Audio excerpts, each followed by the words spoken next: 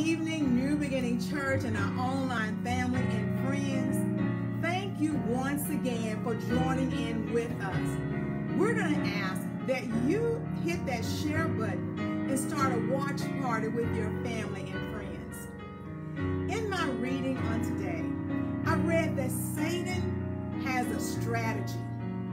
He has a game plan. His strategy has many parts. One of Satan's main tricks is to cause us to miss the goodness of God. Satan wants us to complain about what we don't have so we will lose sight on what God has given us. I'm telling you tonight that we cannot let Satan win.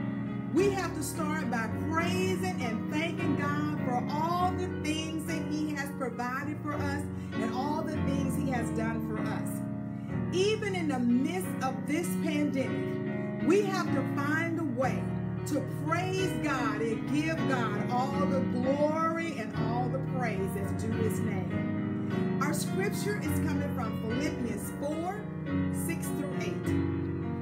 And it reads, Don't worry about anything. Instead, pray about everything.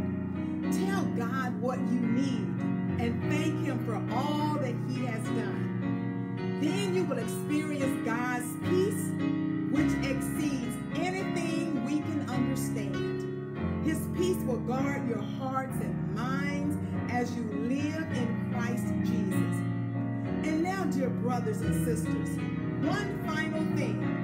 Fix your thoughts on what is true and honorable and right and pure and lovely and admirable.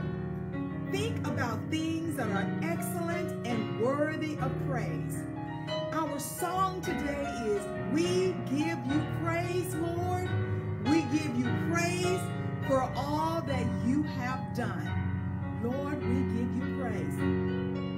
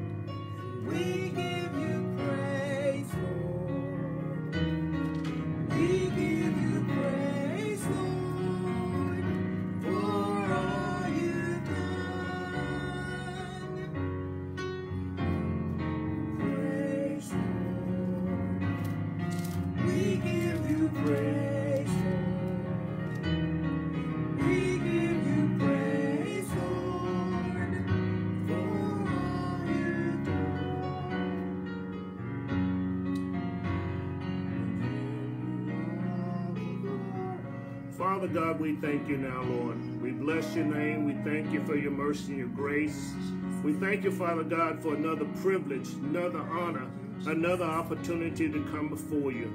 Lord, we thank you, Father God, for keeping us, blessing us, and wrapping your arms around us. Lord, we thank you, Father God, for you are God and you are God alone. We thank you, Father God, for blessing our lives to realize that you are God, giving us a mind to thank you and to praise you. We thank you, Father God, for blessing our lives and saving our souls, forgiving us for our sin, and buying us back from the devil, Lord. We thank you in the name of Jesus. We come now, Father God, thanking you for the word of God. We thank you for blessing our lives and keeping us, Father God.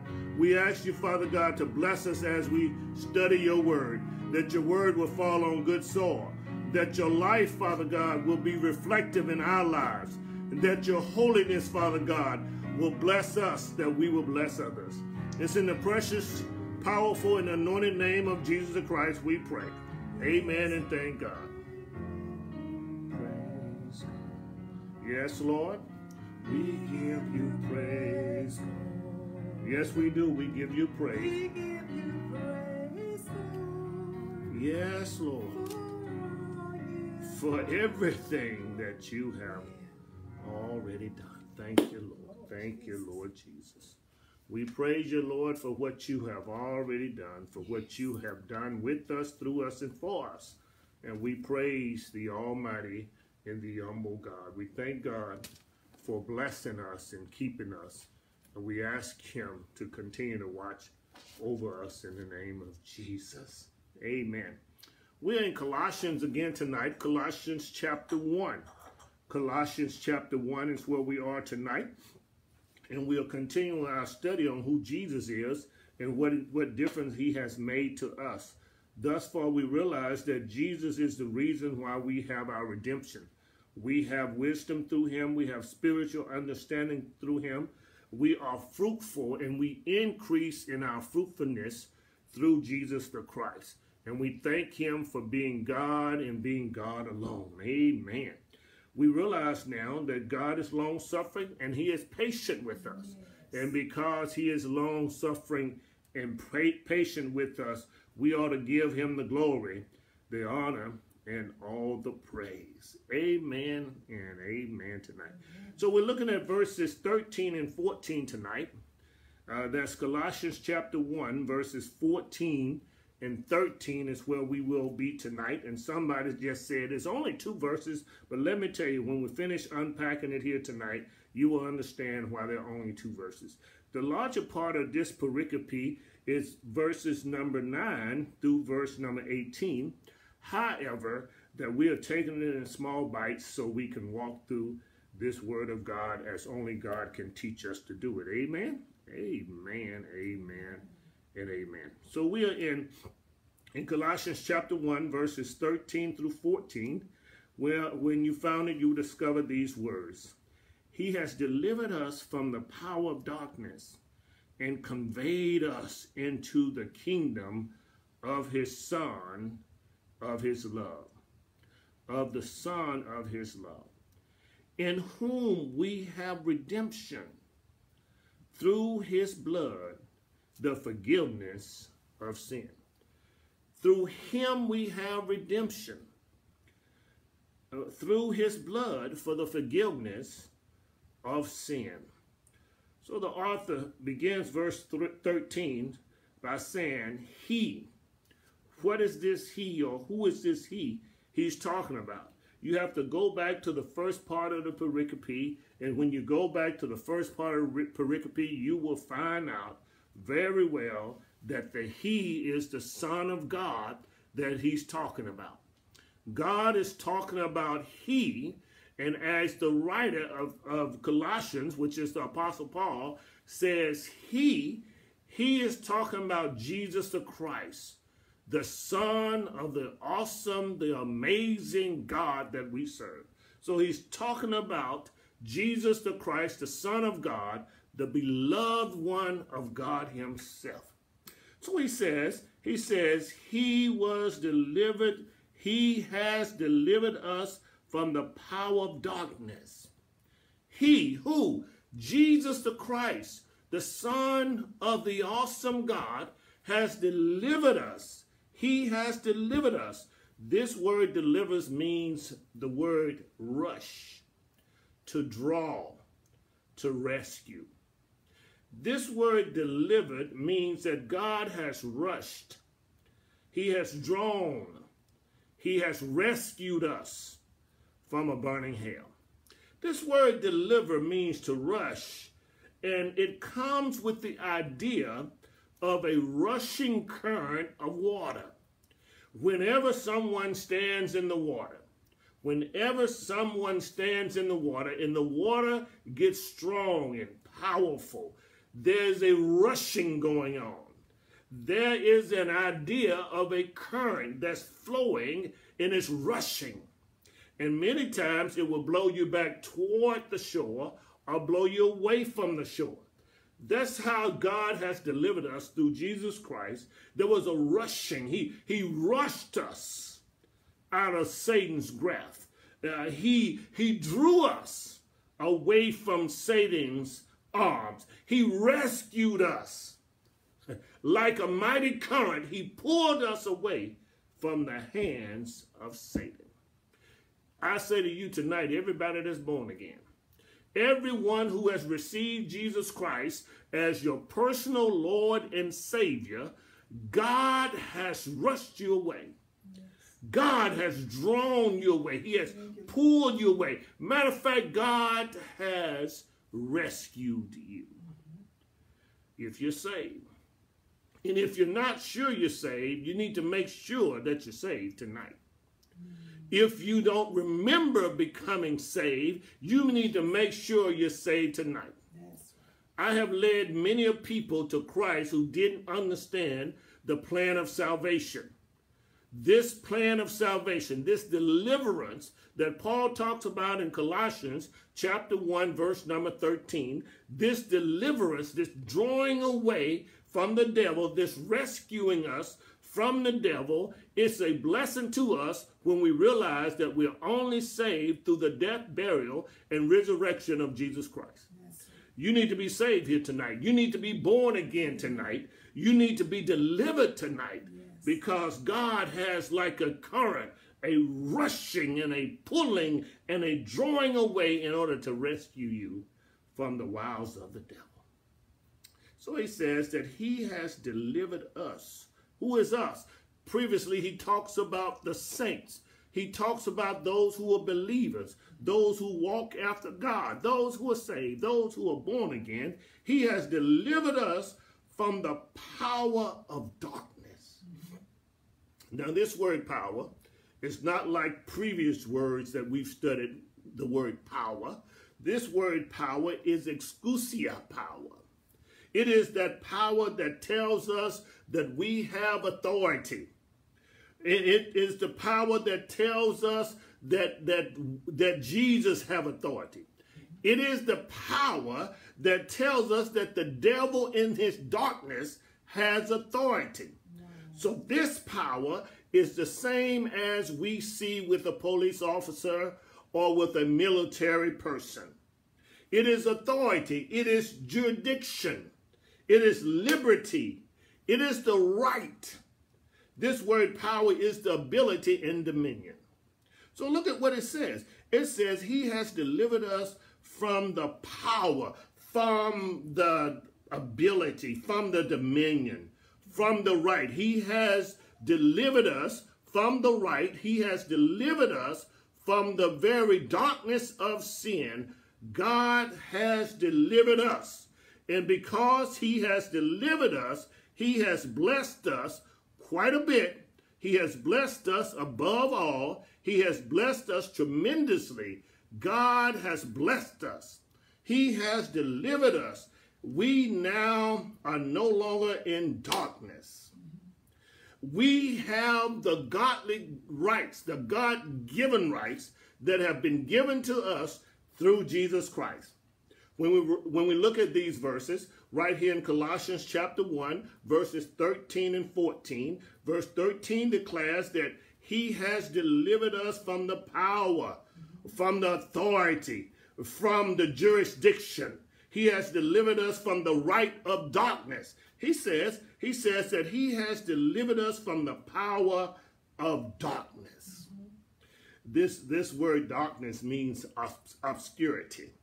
This word darkness is, is the error of our ways.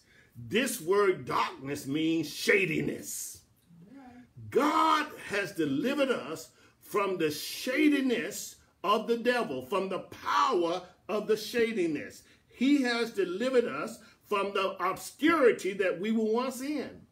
Let me tell you, if you weren't saved, if you wasn't born again, if you didn't know Jesus Christ as your Savior, and all of us have been to that point, if you don't know Jesus Christ as your personal Lord and Savior, then you're still living in darkness. You're still living in shadiness. You're still living in obscurity, and you're still living by the errors of your ways. Thank God. Thank God that He is a just God. Thank God that the God we serve is such an awesome and such an amazing God until he has delivered us from shadiness. And this word shadiness paints a picture of a shade tree or a building that casts a, a shadow upon one when the sun is shining on the opposite side. This word shadiness also describes us in our dark ways, meaning that when we were without, when we were without Christ, then we were a shady character. So this word darkness means that God, God has delivered us from the darkness. This word darkness means that we no longer live in obscurity. We no longer live in shadiness and we no longer live under the power, the authority, the dominion of darkness. So we've been delivered. We've been delivered. First of all, you need to understand that when God delivers us, when God saves us, whenever we are born again, God does something with us. And what God does, first of all, he, he delivers us from the power of sin. He delivers us from the dominion of sin, and he delivers us from the, pre the presence of sin in the future. So first of all, God delivers us from the penalty of sin. The first thing that God delivers us is from the penalty of sin. And everyone who has sinned have a penalty. That penalty is darkness. That penalty is hell. If you are not saved, you are going to hell. If you do not believe the story and trust this story of Jesus Christ's death, burial, and resurrection on the cross, you are on your way to hell. And let me tell you, hell was made for somebody. But you don't have to go to hell. Yes. God has made his yes. son available to us so we can be delivered from darkness. Mm-hmm. So he has conveyed us he has conveyed us into the kingdom of the Son of his love. He has delivered us. He has, he has conveyed us. This word conveyed means he has transferred us. He has not only transferred us, he has translated us. This word conveyed means that he has turned us and he has exchanged us. He has carried us away. No one could do it but Jesus. So God has delivered us, first of all, from the penalty of sin. We don't have to end up in hell. God has delivered us. And if we trust the story, we have that deliverance power walking in us. The Bible teaches that the same Holy Spirit that raised up a dead Jesus, once we are born again, now we have that same Holy Spirit in us. Yes. Let me just say to you, you don't have to get in another line to receive the Holy Spirit. You don't have to speak in a tongue in order to receive the Holy Spirit. Because once you are born again, once you are saved, the Holy Spirit comes in. God the Father, God the Son, and God the Holy Spirit comes in all at one time because he is the triune God. And the triune God himself is never separated when he does something great for mankind. So he, he, has, he has conveyed us. He has translated us. He has, he has transferred us. He has turned us and exchanged us and changed us because he has carried us away. Isn't that good news? Look at what it says. First, first when it says uh, Colossians chapter 1, verse 13, he says, He has delivered us from the power of darkness. And conveyed. I'm reading New King James. The New King James uses the word conveyed. That means he's been transferred. He has conveyed us into the kingdom of the Son of his love. He has conveyed us. Whenever there's a kingdom, there's a king. Wherever you find a kingdom, there is a king. There's someone with authority. There's someone in charge. Anytime we talk about a man building a kingdom, that means there's a king there. And I stopped by here on my way to the rapture to let you know that Jesus Christ, God the Father, God the Son, and God the Holy Spirit is the king of the kingdom that he's talking about here. This word kingdom means rule. This word kingdom means royalty. This word kingdom mean another realm. This word kingdom mean reign. So this word kingdom is the kingdom of heaven, the kingdom of God, and he says it is where God rules. It is because once we're born again, once we're saved, and we've been conveyed, turned, and exchanged to the kingdom, the kingdom of God's Son, we now are royal. We have royalty. We have royal blood running through our veins. Don't let anybody tell you that since you're saved, you're not royalty. You have royal blood running through your veins. You have the blood of Jesus Christ himself. Because we've been translated, conveyed, we've been transferred into the kingdom of Jesus Christ, the kingdom of God's Son. Yes, we have. Yes, we have. One translation says it like this. It says that, that he we have been translated into his dear son. This, this dear son is his loving son, yes. the one that God loved. When you look at John 3.16, it will tell you, for God so loved the world that he gave his only begotten son, that whosoever believes in him will not, shall not, cannot perish, but have eternal life. When we look at this word dear son it is an infection. It is it is an affectionate type of love. It is his love uh, one. It is the loving one of god. And look at what it says. It says in john 3 16 it says it like this god has given his only begotten son that we will not perish. This word begotten in the original Greek text is not begotten son as we think it is. It is this word begotten means that it is our his only unique son. His only unique son, the only unique son by which God has given us his only begotten son. There is none like him. There is nobody like God. Let me just tell you, that excites me because God himself, our God, there is no God like our God. And therefore, there is no son of God like God's son, Jesus the Christ. He is God's only begotten son. The word begotten, remember now, the word begotten in John 3.16, that word really, really means that he is God's only unique son. He is God's one of a kind. One of a kind. There is none like him. He's God's one of a kind son. So we have we've been conveyed into the kingdom of the Son. And this Son is of his love. Look at what it said. It says, we have been conveyed into, into the kingdom of his son. Who is this son? The son is the close to kin. Matter of fact, the son is the closest to kin. whenever, whenever you have a will, and everybody ought to have one, whenever you have a will, or whenever you go to the hospital and you cannot make decisions on your own, then they want to know who is the close to kin. And whenever a will is left for you, that you will be the beneficiary of that will, many times it is the closest to kin that benefit from the will, unless unless you're still walking in darkness, unless you're still shady. Mm.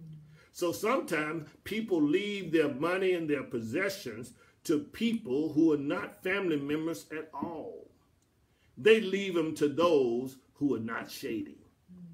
So when we look at the text, we're talking about God's only begotten son, God's only unique son, God's one of a kind son. The closest to kin, it means his kinship. It is God's loved one. It is God's loved one. It is God's loved one. So God has, has blessed us so much so until he delivered us from the power of darkness and conveyed us, transferred us, translated us into the kingdom of the Son of his love. God loves this Son. God loves this Son. Uh, even, even as you love your children, God loves his Son. On several occasions, God says, God said, this is my beloved Son in whom I'm well pleased. Let me just ask you, do you have a child in whom you're well pleased? Do you have a son or a daughter in whom you're well pleased? My next question to you is, are you a child in whom your parents are well pleased or would be well pleased? I, I, try I try to make sure I try to make sure that if I go wrong, it won't get back to mom and dad. I grew up with the concept that there's a great respect there. And because of the respect that I have for mom and daddy, even if I did some wrong, I would go into shingles if I thought it would get back to mom and daddy. Because the fact of the matter is, they're my close to kin. They, they've invested in me, and I want to always be a son that they are well pleased with. Even today, at the age of 57, I want to make sure that mama is well pleased with me. I want to make sure that I respect her to the highest because I, along with my brothers and my sister, is her close to kin. And we ought to make sure that respect is on the table when it comes to close kin. So in verse number 13, we, we realize that God has rescued us. He has saved us from the very power of darkness. And he has transferred us, translated us. He has placed us into the kingdom. So in other words, we have been placed in the kingdom of the born again. We've been placed, even while we're living on place on planet Earth, we're still already in the kingdom of God. That's why we cannot say that God, God is going to bless us in such a way that you need to work out your soul salvation. The text doesn't say. It does not say work out your soul salvation because your soul has already been saved. So you have to work out your salvation with fear and trembling. What that says is we ought to have sanctification. That's the next thing that God saves us from through Jesus Christ. First of all, I told you he saves us. He saves us from the, from the very penalty of sin. The second thing, he saves us from the power of sin. That's right there in verse 13 of Colossians chapter 1. And then one of these days, he's going to save us from the very presence of sin. We're going to be glorified. And the reason why we don't have to worry about it because our soul has been anchored in the Lord from the day of salvation. So we don't have to work out our soul salvation. We just have to work out our salvation, the Bible says, with fear and trembling, with respect unto God. We have to work out our salvation. Let's look at verse number 14, and I'll leave you alone, let you go back to eating your beans or whatever you eat tonight. Verse 14 says, in whom? What is he talking about when he says in whom? He's talking about the Son. Which son? The Son of God. He's talking about the only begotten Son. He says in verse number 14, Colossians chapter 1, in whom we have redemption through his blood and forgiveness of sins. The word redemption, this word redemption means, means to pardon. This word redemption means, means to, to, uh, to have remission. This word redemption means to set from any blames, to be set free from any blame. It, were, it means to, to be declared free from any blame. It means to be absorbed. Absorb. That, that word is spelled uh, A-B-S-O-L-V-E. A-B-S-O-L-V-E. In other words, God has blessed us to be uh, absorbed, absorbed.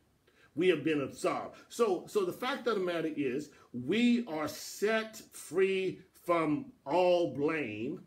We are set free from all guilt. We are set free from all responsibility. Let me just tell you, you can't buy your way into heaven. You can't save yourself. And not only that, you cannot work your way into heaven because the text declares right here in Colossians chapter 1, verses 13 and 14, it declares that Jesus Christ, it, it uses the phrase he, him, the Son. The Son has caused us to have redemption. Redemption is pardon. Redemption is purchase. Redemption is to buy back. When you've been redeemed, Somebody has bought you back. Let me just stop here and say the word redemption means to buy back. It means to purchase. But let me just say to you, not only did Jesus buy us back, he also brought us back. That's what he's talking about in verse number 13. Not only did, did he buy us back, we have redemption through him, he also bought us back and brought us back. He has brought us back. And so the results of him buying us back is salvation. Amen. The result of Jesus Christ buying us back, and I'll tell you later on throughout this verse how he bought us back and he brought us back. Let's look further. He says, he says in verse number 14, Colossians chapter 1, in whom we have redemption. We have redemption through Jesus Christ. We have been purchased. We've been bought with a price. Let's see what he says that price was. Through his blood. The blood that was shedded on Calvary. Jesus paid an awful he bought us with the precious blood of Jesus Christ. Thank God that Jesus thought enough of mankind to buy us back. He, he bought us back. He, he bought us back, and he did it through the blood that was shed on Calvary. This word blood means blood shed. This word blood, this word blood, this word blood means that, that the kindred blood of Jesus Christ has bought us back. When you look at Ephesians chapter 1, verse number 7, Ephesians chapter 1, verse number 7, you will understand real well that it was through his blood that he brought us back. It was through the blood that was shed on Calvary for each one of us. He has bought us back. Hallelujah. He has bought us back. He has not only bought us back, he brought us back. Hallelujah to the Lamb. Now, we didn't deserve it. We didn't work for it. Right. We only have to have faith for it. And let me just share with you, even in the process of having faith for it, let me just tell you that faith even comes from God. The Romans writer, Paul says that God has given to every man a measure of faith. That faith increases as we read his word through by which faith comes by hearing, and hearing through the re reading of the word. So when we walk in faith and we have what is known as strong faith, I don't know how you measure if a person's faith is strong or weak. But one thing I do know, when you walk in faith with Jesus Christ, everything doesn't turn you off. When you walk in faith with Jesus Christ, you don't fall out and scream and holler over every little thing. When you walk in faith with Jesus Christ, you need to understand that Jesus has given you that faith. God has issued out that faith. So we don't have anything to brag about. First of all, we can't brag about being saved. For Ephesians chapter 2, verse number 8 and 9 says that we are saved by grace through faith. Not that we should boast about it. it's not of ourselves. We can't even brag about it. So people who are walking around bragging about the faith they have in God, you ought to be bragging on God and how he has given you faith. Amen. You ought to brag. You ought to brag about God. You ought to get excited about God. You ought to brag about the faith that God has issued to you. He gave it to you freely. He, he, was, he, he gave us redemption through his blood, the forgiveness of sins. Let me tell you, everybody was born in sin. Everybody was shaping in iniquity. And all of us have messed up. All of us have fallen short. All of us need forgiveness. And because God has forgiven us, this word forgiveness means a remission. It, it means to be pardoned. It means it's way above what the president does for all the criminals we see in America. Mm-hmm. This word is higher than the poor little pardon that our president give to criminals. Let me tell you, we were criminals. We had missed the mark. We had fallen short. We had not done those things that God would have for us to do. And not only have we not done those things that God would have us to do, we've also neglected those things that God would have us to do. And not only with that, we have we have not only neglected them, we have set ourselves aside to be our own king. We were born like that. When you see proud men, you need to understand they were born like that. And it takes the word of God, it takes God himself to kill it off. So we have to walk by faith. So Jesus Christ, in his blood that was shed on Calvary, gave us our forgiveness, our pardon from sin. Therefore, we have redemption and we are declared blameless. We are declared not guilty we are declared to not have any res responsibility because Jesus has taken on the responsibility on our behalf. Finally, the word sins. The word sins means offenses.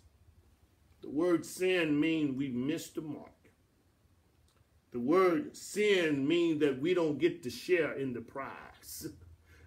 if, if Jesus had not died for us on Calvary, if Jesus had not been buried in a borrowed tomb and early that third day morning rose from the dead and allowed us to walk into the Holy of Holies for ourselves, then we would still not be able to share in the prize. What's the prize, preacher? The prize is the kingdom of God. The prize is eternal life in Jesus Christ himself. The prize that we're looking for, we ought to be pressing toward the prize. Back home in Mississippi, we used to have a testimony service. You see, the sanctified church had a long drawn out testimony service. But in the Baptist church, and, and I'm, I'm, I'm for a Christian church, I'm for a church that represent Christ, I'm for churches, regardless of their title, regardless of their denomination, I am for those who walk with Jesus Christ. That's why we are Christians because Christ Jesus makes us Christ-like. Yes. We can't even be a Christian for ourselves. Mm -hmm. We are Christians because of Christ.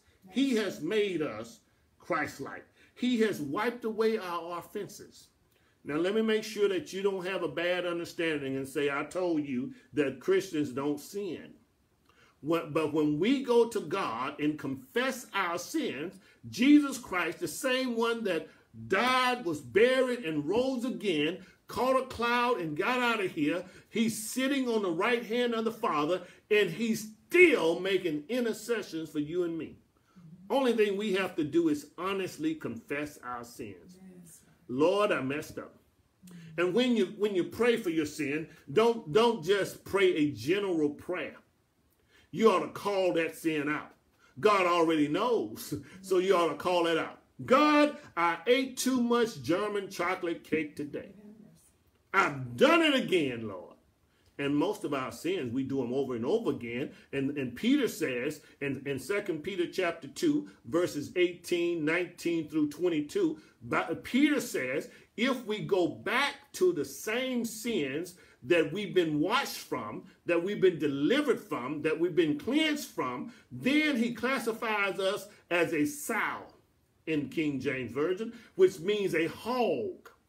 A sow, back home, a sow is a big old pig. It's a big old pig, big old hog. And that hog, regardless of how clean you get him, you can choose this hog as your pet. You can brush him. But as soon as that hog sees some mud, he goes running back to it and rolls over in that mud again. The Bible says that when we sin, we need to pull away from that sin. And when we, we go back to that sin over and over again, we're nothing but like a hog that's running back to the mud. In that same verse, it classifies those who continue in sin, knowing that it's sin, that keeps going back to sin. It says that we are like dogs. And what the dog does, he vomits up and he licks it up. He puked it up and he licks it up. The, the text says in, in second, second Peter, Peter says that we're nothing but like dogs who have gone back to eat up, to lick up on our own vomit again as we are caught in our sins. See, we ought to, we ought to stop worrying about being caught by the pastor, caught by the mission sisters, caught by the deacons in sin. God sees everything. He even sees our sin. And when we miss the mark, when we sin, we ought to run to Jesus Christ and confess our sins, run to God, confess our sin, because Jesus is sitting on the right hand of the Father, making intercession for us, asking God to bless them, asking God to not kill them, asking God to not hold their sins against them. But every time we sin, we miss the prize.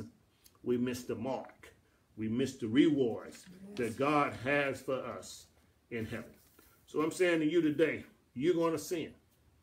And when you sin, First John, John says, first, first John says, verses number 8 and 9, he says, when you sin, not if you sin. I know the King James Version says, if you sin. This word if in the original text simply means when you sin. Because you're going to sin when you sin, you need to understand that we have an advocate in Jesus Christ. We have a lawyer. And if we confess our sin, God is faithful, God is just to forgive us for our sins and cleanse us from all unrighteousness. Let me just share with you tonight that God has set us free.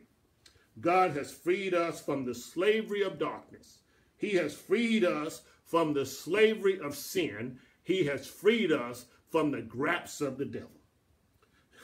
and, and on January 1st, 1863, President Abraham Lincoln of the United States, he signed what is known and he issued what is known as the Emancipation Proclamation. The Emancipation Proclamation is, is, is something that set Americans free all Americans free. There should be no more slaves, no more slavery in the United States of America. Even Alabama, even Mississippi, even Georgia, there should be no more slaves. And it also brought to a bitter, bitter end the civil war that was going on over slavery. the Confederate soldiers over the Union soldiers. So we have now our Emancipation Proclamation that was signed by the President, President Abraham Lincoln, January 1st, 1863. It set us free. It set black men free. It set white men free. It set all Americans, all of us are set free from slavery. And because we've been set free from slavery, we don't have to be anybody's slave. In the text, finally, you find in Colossians chapter 1, verses 13 through 14, our emancipation is enjoyed only because of the tremendous cost, the amazing price, and the bloodshed that Jesus shed on Calvary. Our emancipation, our freedom, cost Jesus his very life. And no man took his life, he laid it down for his friends. That we will be born again, that we will be saved. And I want to say to you today, this is your opportunity to get to know Jesus. The door of the church is open. The invitation is extended. You need to know Jesus. And You need to know Jesus in such a way that you depart from your sins. You need to know Jesus in such a way that you believe that he died on a skull hill called Calvary, that they buried him in a borrowed tomb, that they, they, they hung him and, and he bled his blood after he was dead. He bled and his blood was given for your redemption. Will you join me tonight in prayer? Just repeating after me and inviting Jesus Christ into your life. If you don't invite Jesus Christ into your life, you will never go to heaven. If you don't trust the story of Jesus' death, burial, and resurrection on Calvary and in Jerusalem, you would never make it to heaven. You got to trust Jesus. So I want you to, to come and, and bow your head with me as we meditate on Colossians chapter 1, verses 13 and 14. Invite him into your life today. It's a simple prayer. Lord Jesus, I believe that you are the Son of God. I believe that you died for your sins, for our sins. I believe that you rose from the dead. Come into my life and make me a new person. Will you repeat after me in prayer? Lord Jesus, I believe that you are the Son of God. I believe that you died for my sins. I believe that you were buried in a borrowed tomb. I believe that you rose from the dead with all power. Now come into my life and make me a new person. Thank you for saving my soul.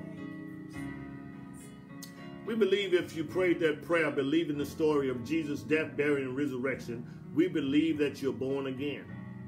And now you are on your way to heaven. So now you have to work out your salvation with fear and trembling. And you need to join a good Bible teaching church.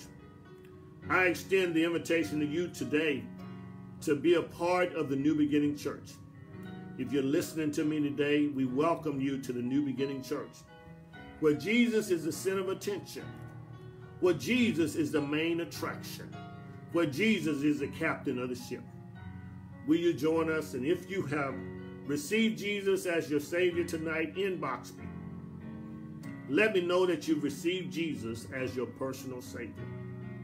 And if you want to join and become a member of the New Beginning Church, inbox me so we can welcome you to the church where Jesus is the captain. If you need prayer, please inbox me and let me know that you need prayer, and we'll be glad to pray with you and to pray for you. Thank you so much for joining us tonight. Thank you for being a part of our church by way of remote location. And now it is offering time. It is time to give to the Lord. It is time to give to the Lord through tithes, offering, and sacrificial gift. It is time to give to the Almighty God. It is time to give to Him. And you can do so. You can give to the New Beginning Church in three means. First of all, you can give by way of Cash App. Our cash tag is NBC Souls. NBC Souls. Cash tag NBC Souls. Dollar sign NBC Souls. Or you can give by way of Zelle. Our Zelle account is lifting.jesus at yahoo.com. Lifting.jesus at yahoo.com. The idea here is in John in in in, in John chapter 12, verse 13, 32 rather. John 12 and 32 it says, In I, if I be lifted up, if Jesus be lifted up, he will draw all men unto himself. So Zelle, the Zelle account is lifting.jesus at yahoo.com. The third way you can give to the New Beginning Church through your tithes and your offering, as well as our visitors contribute to us, is, is by way of P.O. Box. Our P.O. Box number is P.O. Box 503, Missouri City, Texas 77459. P.O. Box 503, Missouri City, Texas 77459. Thank you so much for, for being a part of our service tonight. And this is our Bible study. We are here every Wednesday night at 7:20 p.m. 7:20 p.m. for our live broadcast on Zoom as well as Facebook Live. Please join us on Sunday morning at 9 a.m. on a Sunday morning at 9 a.m. every Sunday morning at 9 a.m. Please join us, and that will be Sunday school. If you join us at 1045, we welcome you to our regular worship service every Sunday at 1045 a.m. Uh, this Sunday, this Sunday is First Sunday. And because it is First Sunday, we will be celebrating communion. We will have our virtual communion as we do, and we have been ever since the month of April, virtually. We will have our virtual communion. So please, ma'am, please, sir, go ahead and get your crackers out, go ahead and get your drink out, and join us for communion. As Jesus has said, as often as I do this, you as often as you do this, as often as we do this, we show forth his death and suffering until he come again. So Sunday, during our worship service at 1045, we will celebrate what Jesus has done for us in communion. Thank you to our visitors. Thank you so much for joining us. Thank you for your contributions. Thank you for being a part of our service. And to the New Beginning members, thank you so much for, for returning your tithes and offering. Thank you so much for keeping the church financially stable. Thank you. And to our visitors, thank you for mailing in. Thank you for using the Cash App. Thank you for using Zelle. Thank you for mailing by way of the P.O. Box 503, Missouri City, Texas 77459. Thank you for joining us in uh, financing our church. And those of you who are in between churches, or those of you who have no church home, we welcome you to give your tithes and offering to the New Beginning Church. We thank you so much for joining us tonight. Let's go to God in prayer. Father God in heaven, we thank you now. We bless your name. We thank you for your mercy and your grace. We thank you for all that you do. Now, Lord, we thank you for, for conveying us. We thank you for translating us. We thank you for rescuing us from the darkness, from the obscurity, rescuing us, Father God, from the wiles of the devil. We thank you, Lord, that you have seated us in heavenly places we thank you for translating and transferring us to the kingdom of your Son, the kingdom of God, the kingdom of heaven. Thank you, Lord. Now, Lord, we ask you to bless everybody in my hearing, those who would share this video, those who will start a watch party every video. We pray that you bless those who will hear this video. that they, their lives will be changed, their hope will be renewed, their marriages will be restored, their singles will walk in a godly way, and that boys and girls will walk according to what you would have them to walk in. In Jesus Christ. In Jesus' name we pray. Amen. Thank God. Thank you so much again for joining us. We look forward to seeing you on Sunday morning at 9 a.m. and also at 10:45 a.m. God bless you and God keep you is our prayer.